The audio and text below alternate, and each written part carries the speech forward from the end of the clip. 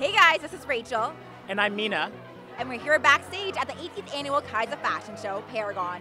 They've raised over $200,000 for the Children's Health Foundation, and they're going to be adding $30,000 to that total tonight. Let's go backstage and check it out.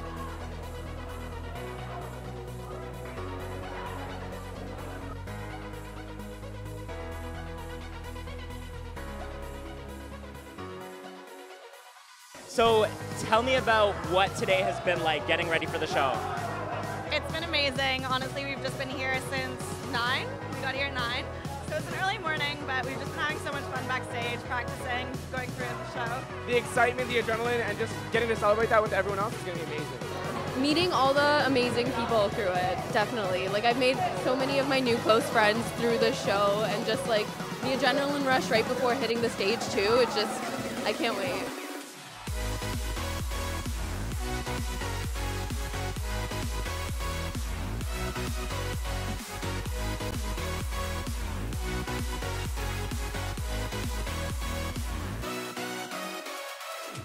What's it been like as not a dancer, but being part of the show?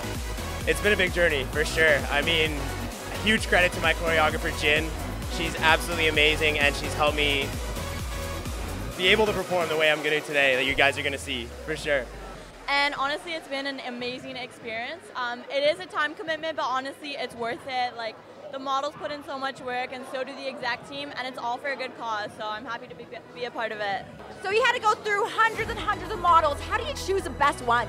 Well, what we want to reach out to are the people who are very personable. So they'll, you know, be people who love hanging out, love meeting new friends, and really care about the charity that we support. Which is Really? So personality in a model? yeah, you would be amazed. Like every one of these, as much as they're beautiful, they have amazing personalities, and it was really hard from like over 300 applicants, but we managed to select these. Yeah.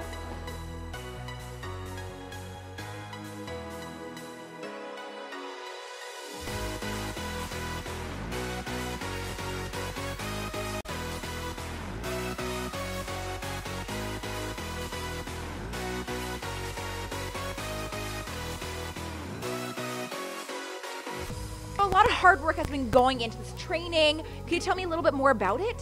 Um, countless hours. I can't even count how much I've, uh, well, we've all put into this. So, as the executive director this year, what's been the most challenging thing, or what's been the most rewarding thing for you as um, taking on this role? I think the most challenging thing uh, is probably the amount of work that goes into it and the dedication.